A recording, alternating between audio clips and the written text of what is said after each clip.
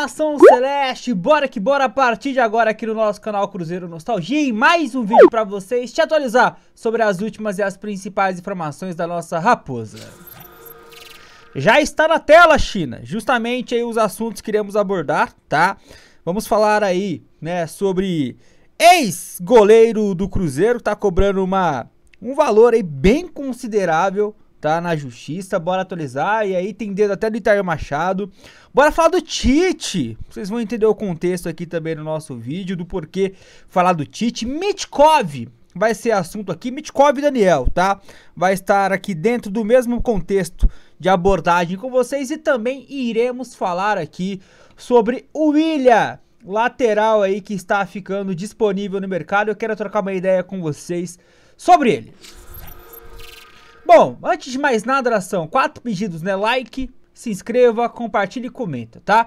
Mas real, de verdade, deixa o like, por favor. O joinha é muito importante. Só que nem 10% das pessoas que vê os vídeos deixa o like aqui em média, tá? No canal Cruzeiro Nostalgia. Então, eu peço aqui encarecidamente para você me ajudar nessa. Beleza? E nação, esse é mais um vídeo patrocinado pela Bet7k casa de apostas que realmente cada vez mais vem se destacando no mercado, tá? E sabe por quê? Porque lá é jogo ao vivo, cassino ao vivo, é o saque mais rápido do mercado. Apostou, ganhou 50, 100, 200 reais, saca na hora. É isso mesmo. Sem contar que você encontra odds sensacionais. E olha agora, hein? Preste atenção na novidade de hoje a partir de hoje, através do link que está na descrição, também está fixado nos comentários, no seu primeiro depósito você vai ganhar até R$ 1.200 de bônus. É muita coisa, é um bônus sensacional. Aproveita que é só a Bet7k que te proporciona isso, tá? Clica no link, faça o seu cadastro e boas apostas para vocês. Fechado, nação? Bora para a primeira informação, bora para a primeira notícia. Vem para a tela comigo. Tá aí, nação, ó. Depois do Adriano, informação de ontem para vocês, né? Adriano renovando o contrato aí com o Cruzeiro. Uh, Raposa agora tem foco na ampliação de contrato com o Daniel Júnior e o futuro de Mitkov. Meia garante que vai ampliar o contrato com o Cruzeiro e mantém conversas com o clube, tá? Sobre o Daniel, nação, não tem muita novidade, tá? As conversas continuam.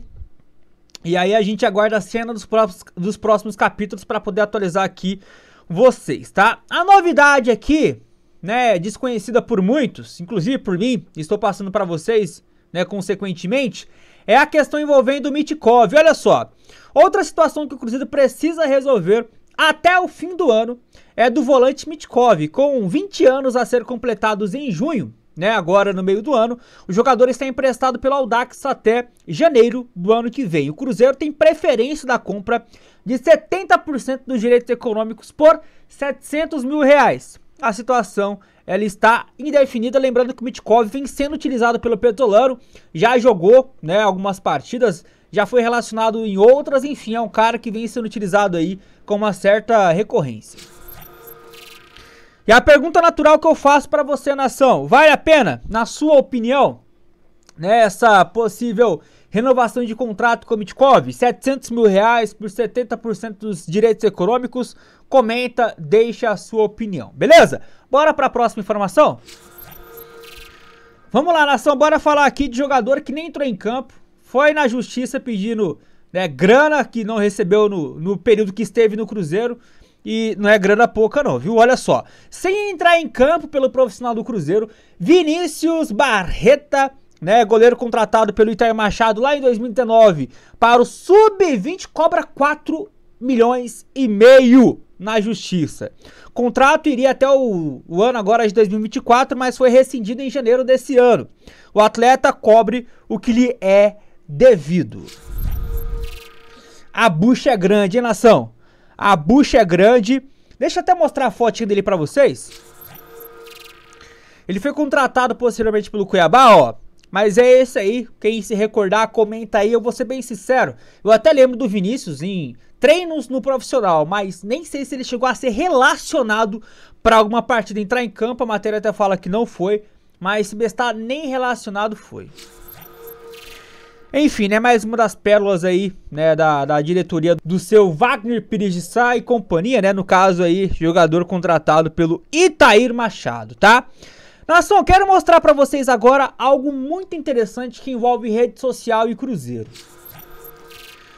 O MKT Esportivo, né, que é um portal aí, marketing esportivo, que é um portal que traz números relacionados à interatividade nas redes sociais, não só de clubes, mas de empresas, enfim, é, é nessa pegada, tá?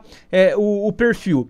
Trouxe hoje, tá? Essa publicação, ó. O Cruzeiro assumiu a liderança do ranking semanal no Twitter. O clube celebrou a classificação na Copa do Brasil e até pediu o Pix para a CBF. Essa publicação ficou entre as mais engajadas da rede social no período. É a força da nação azul.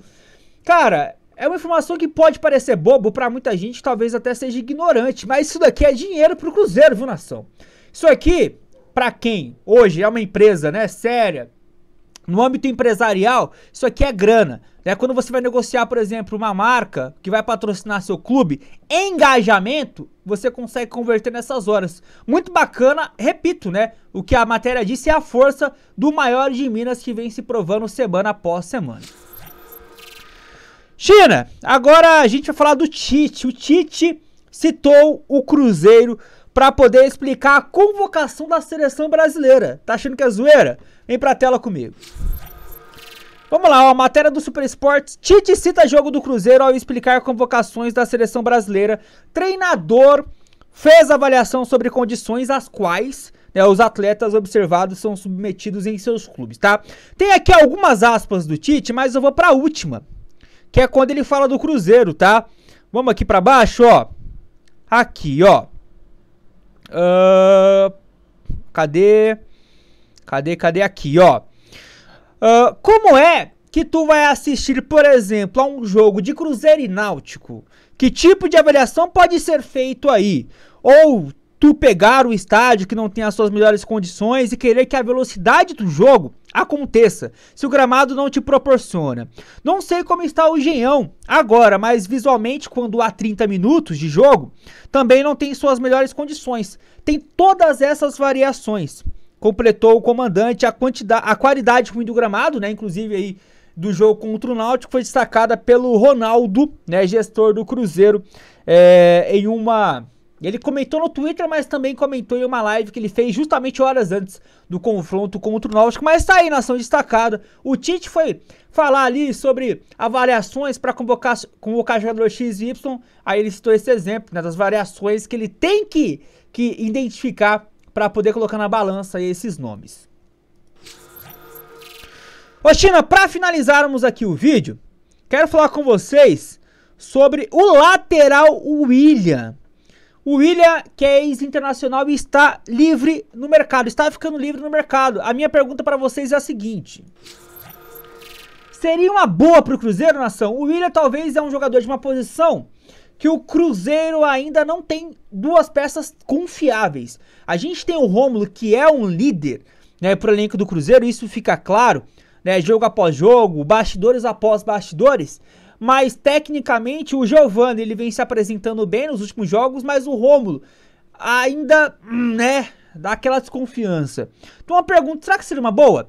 Aqui a informação para vocês, o William, ex né, internacional, deixa o Wolfsburg da Alemanha após 5 anos. O clube alemão anunciou que a série do brasileiro, né, vai acontecer após não renovação do contrato. Lateral direito, medalha de ouro, né, nos no Jogos Olímpicos do Rio, está com 27 anos de idade.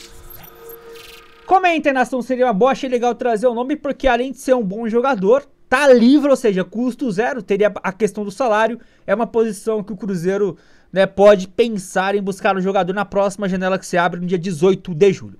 Chegou até aqui, nação, deixa o like, só para finalizar, lembrá-los que eu já trouxe vídeo hoje, hein?